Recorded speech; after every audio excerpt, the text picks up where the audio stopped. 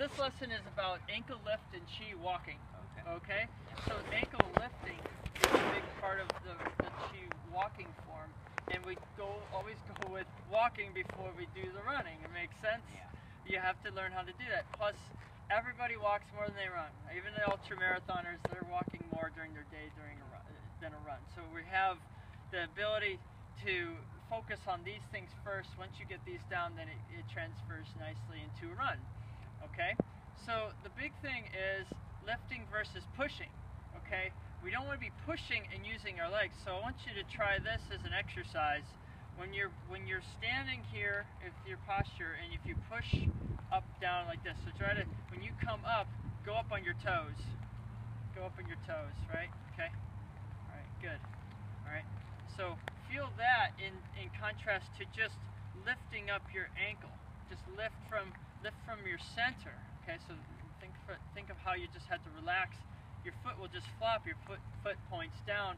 That's a lot less energy. Yeah. Feels a lot easier. Which one would you rather do? Probably the second. One. Yeah, the second one is a lot better. So it's a lot much.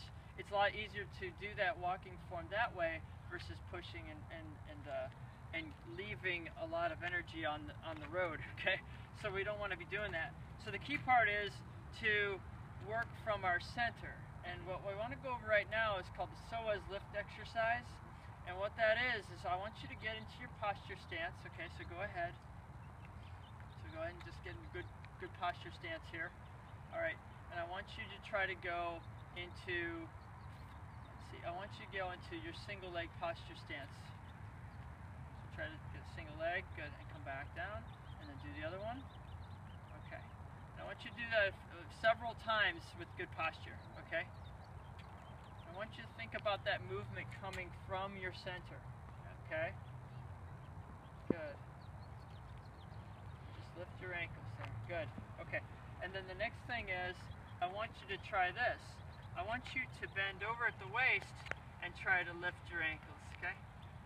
See how hard, th- so much harder that is? Okay. What do you feel working? Uh,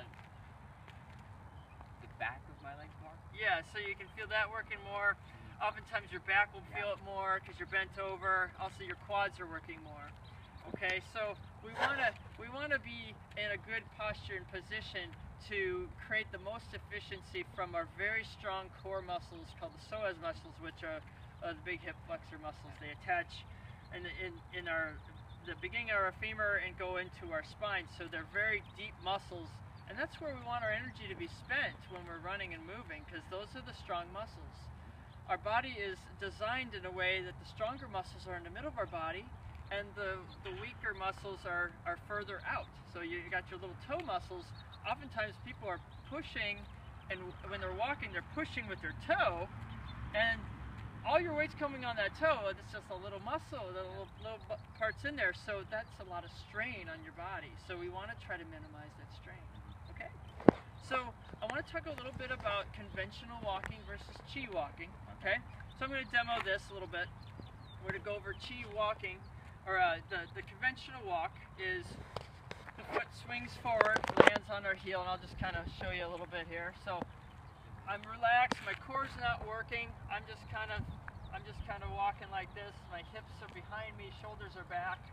And I'm landing with the back of my heel and I'm feeling that those muscles work a lot harder, okay? So I want you to try this a little bit. Go and just do a regular walk. You're probably used to this. Just walk.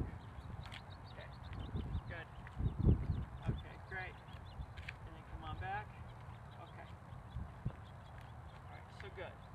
Now I want to do uh, a teaching of how to do the chi walking technique. And basically, it's like a lot of what we've already talked about. Aligning our leaning forward, okay? So the big thing now to get aligned up here. I'm to pull in through my center, and then I'm to lean from my ankles, and I'm to pick up my feet.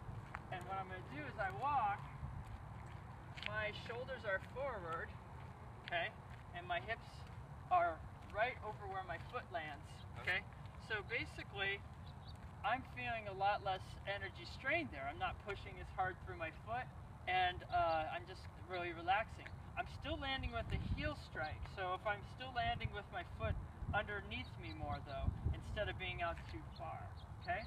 So what I'm to have you do now is try a few things with this form. I'm going to kind of get you started here. I want you to get into your good posture stance. We talked about it.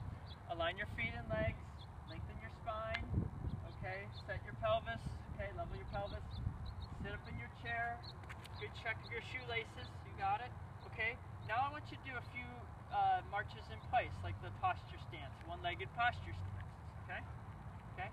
And as we do this, I want you just to lean forward and to to go forward here. Good. Okay. And then I want you to try it again. I want you just to go a little bit less up and down. Uh, the key part is we want to think about our our our wrists are up, the back of our head is up, and our heels go up. But our knees stay down. So I'm not going to be up like this. I'm just gonna I'm just gonna lean forward from my waist and just pick up my feet and just like that.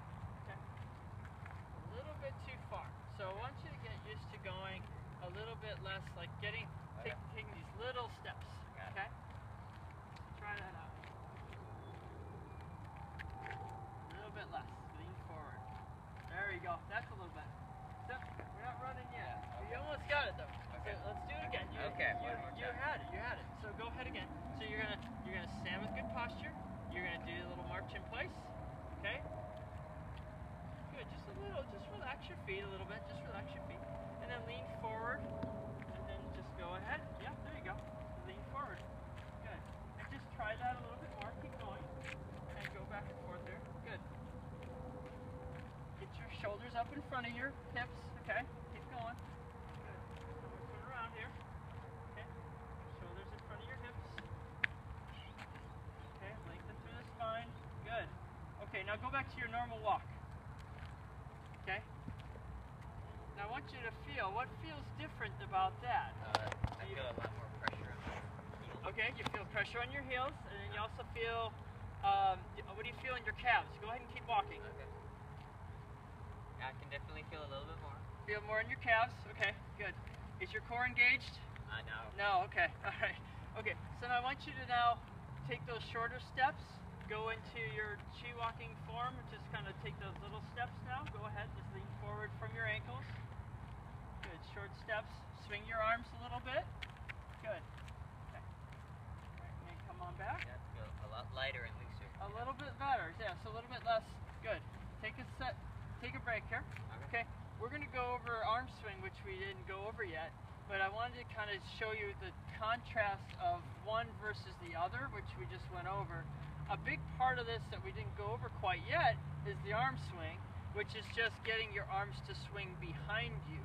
Okay, so what we do is we want to keep, and we'll go over this in the arm swing section just a little bit, but I want you to think about getting your elbows bent a little bit here, and, and when we're walking, we're going to have our arms kind of low to the ground a little bit more. We'll walk, we'll walk more, you know, a shorter, a longer, a longer stride, or you know, just got a shorter.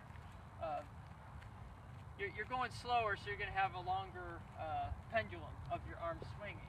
But that's still the emphasis is the arms are swinging behind you. As you pick up your speed with walking, you'll have your elbows bent more, and your elbows will go behind Okay. you. Okay, so you never want your elbows to go too far out in front of you because you'll swing out. You know, you'll swing out like this. That's what we want. We kind of want to be, you know, right over our body, just these little steps. Okay?